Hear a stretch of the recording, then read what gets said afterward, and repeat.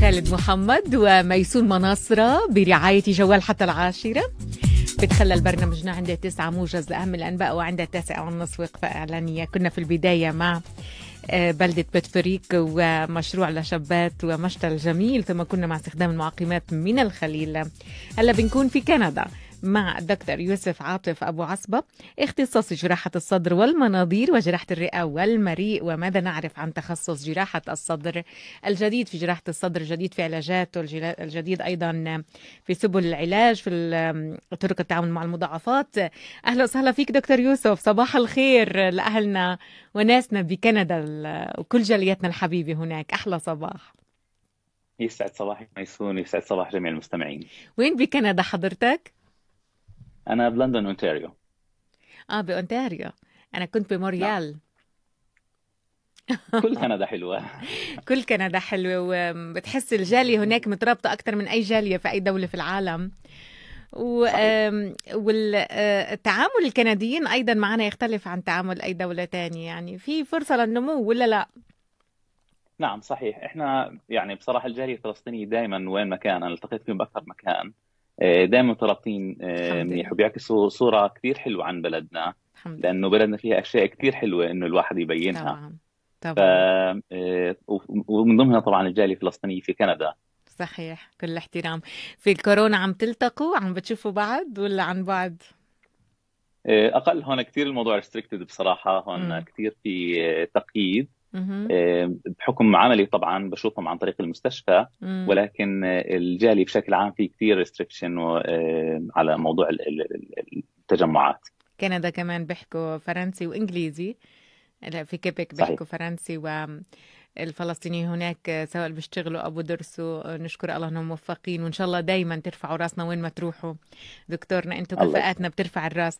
حضرتك جراحة عامة في مشفى المقاصد كنت من 2011 ل 2014 خبرة طويلة ما شاء الله. وإن شاء الله المقاصد ينهض من كبوته والكل يوقف جنبه هلأ. تخصص جراحة الصدر والمناظير في مشفى رمبم في حيفا من 2014 ل 2019 وأيضا الزمالة الكندية في تخصص جراحة الصدر من جامعة ويسترن اونتاريو ومركز لندن لندن للعلوم الطبية 2019 2021 دكتورنا تخصص جراحة الصدر كمان ارتبط موضوع الأمراض الصدرية بالكورونا حاليا لأن الكورونا بتهاجم أضعف إشي في جسم الإنسان ففي كتير للأسف راحوا ضحايا من كبارنا في العمر و كذلك من اللي ما عندهم مناعة كبيرة في مسألة الأمراض الصدرية. خلينا نتكلم عن تخصص جراحة الصدر. شو طبيعة الأمراض بتتعاملوا معها وشو دور جراح الصدر في علاج أمراض الصدر بشكل عام وسرطان الصدر بشكل خاص. تفضل حضرتك عزيزي أهلا وسهلا فيك. تفضل. الله يسعدك يا رب. كل المحبة. تخصص جراحة الصدر آه، هو تخصص اللي بيعنى بكل ما هو داخل الترجيف الصدري هو أحد التخصصات الجراحية.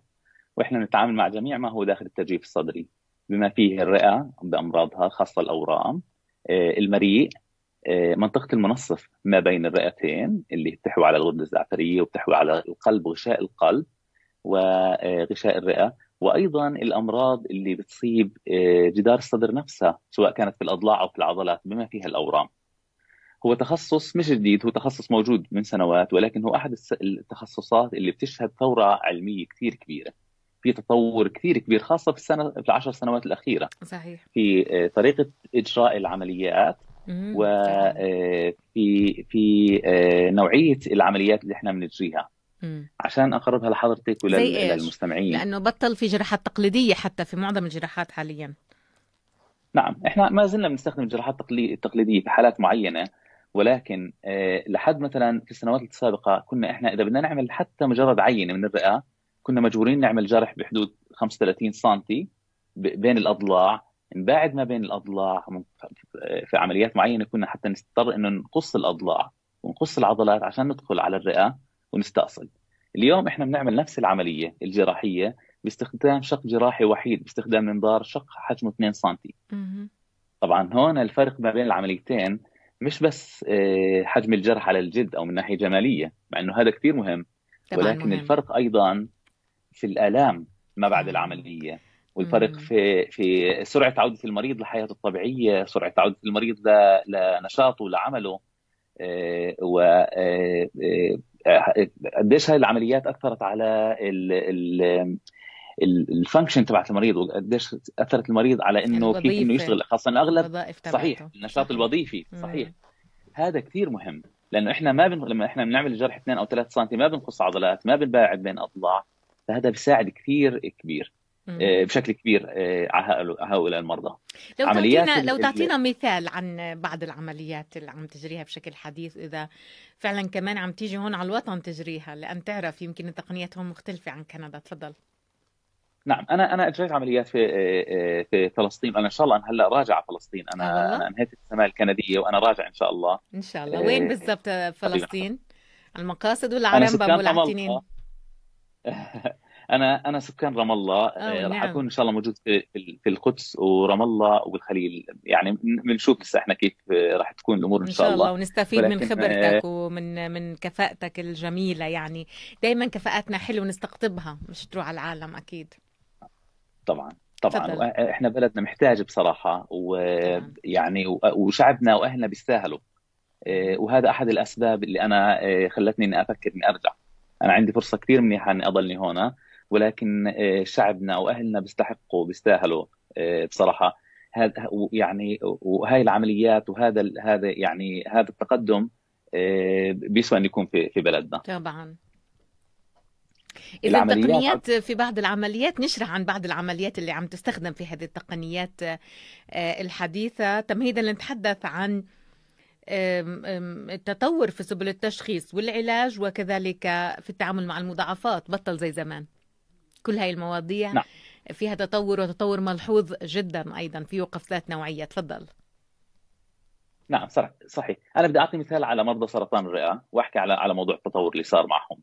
مرضى سرطان الرئة مثل ما إحنا حكينا لحد سنوات قديم لحد سنوات قليلة سابقة كان إنه إحنا إذا بدنا نعمل عملية لمريض سرطان الرئة ما يكون عندنا إمكانية معينة للتشخيص، اليوم بفضل التقنيات الحديثة إحنا ممكن نكون داخلين على العملية وعندنا تصور كامل عن نوع الورم اللي إحنا بدنا آه، آه، نستأصله وعن مدى انتشاره مدى تقدمه آه، سواء كان في تقدم موضعي أو تقدم على على مستوى الجسم. فهذا بخلينا نكون مستعدين بشكل أفضل للتعامل صحيح. مع هذا الورم. صحيح. من ناحية إنه هل أنا إذا بحاجة أنا إنه أعطيه علاج كيماوي مثلا أو علاج إشعاعي قبل العملية أو هل أنا بحاجة إن أنا أعمل مثلا أنا داخل على عملية كثير كبيرة فأنا بحاجة قلب ورئة صناعية معي في غرفة العمليات. كل هاي الأشياء حاليا إحنا عندنا تقييم كامل عندنا قدرة إن نكون عاملين تقييم كامل للمريض ما قبل العملية وبالتالي نستعد بشكل كامل وبالتالي النتائج تكون بشكل أفضل. صحيح. التطور في العمليات نفسها أو في العلاج اللي هو زي ما إحنا حكينا التطور هذا متزامن في عندنا تطور كبير جراحي حاليا في طرق إجراء العمليات. وأيضا في عندنا تطور في في علم الأورام في تطور كثير كبير وهذا هذا مواكب للتطور تبعنا. وبالتالي أيضا هذا بينعكس آه، على مرضانا. في تطور في البروتوكولات اللي إحنا عم نستخدمها مع مرضى الأورام في تطور حاليا في العلاج المناعي والعلاج البيولوجي. هذه الأشياء ما كانت موجودة من من آه، من سنوات آه، سابقة.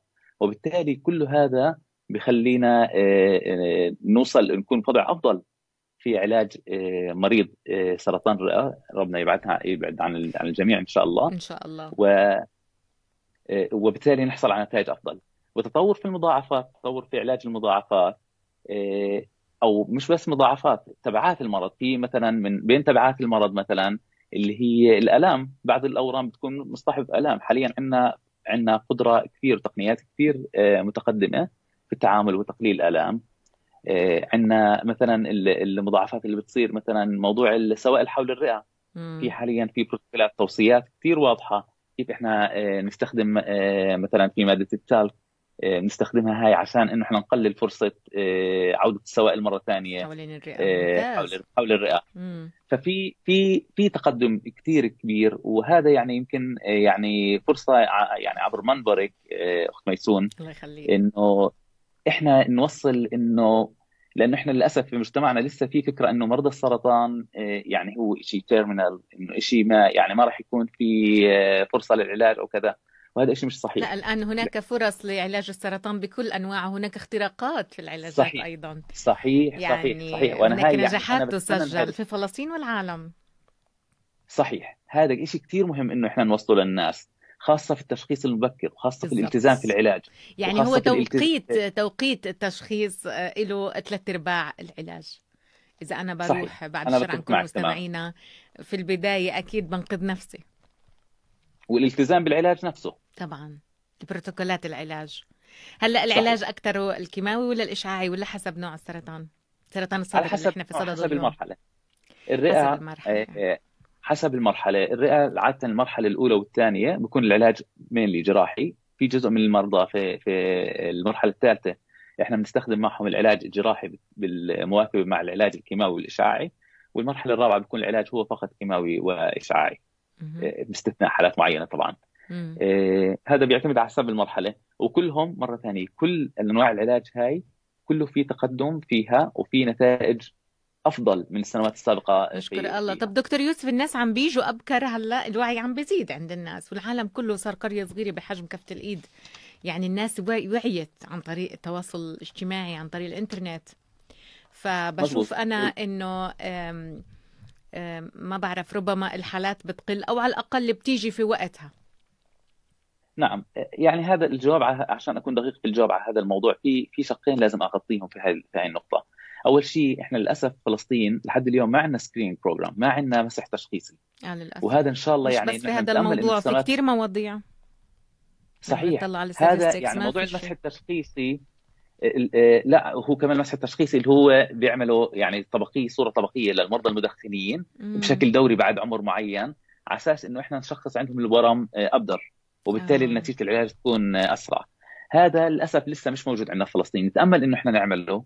يعني وهذا من بين الأشياء اللي إن شاء الله اللي أنا بحلم إنه أنا أعملها إن شاء الله في فلسطين. لأنه هذا رح يحافظ على أرواح ناس كثيرة. طب معيتك إذا بين... نستنى قدومك بركن بعد كم ان شاء الله أنا هذا بالتعاون مع ناس كثير أنا يعني ما بدي اقتصر الموضوع علي. طبعا طبعا, طبعا, طبعا. لا ولكن هذا من هذا مشروع قومي وهذا مشروع يعني رح يحافظ على أرواح ناس كثير كثير. طبعا. إن شاء الله. مم. آه، والموضوع الثاني هو للأسف مع الكوفيد مع الكورونا آه، نسبة التشخيص المبكر للأسف قلت لأنه الناس صارت تخاف تتوجه للأطباء. وأيضا لأن الكورونا والكوفيد نفسه بيعمل أعراض تنفسية. فأيضا فهذا بيختلط الأمر على المريض وعلى الطبيب اللي بيعالجه. صحيح. شكرا جزيلا لهالنصائح القيمة ولهالمعلومات الأكثر قيمة. يعني قيمتك الغالية وقامتك العالية معنا في المجلة واحد من كفاءاتنا المعروفة.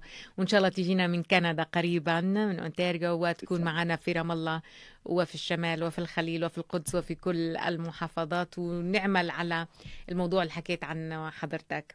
أهلا وسهلا فيك دكتور يوسف عاطف أبو عصبة نورتنا من كندا. شكرا لك شكرا لك شكرا إلى اللقاء. كل المحبة كل الاحترام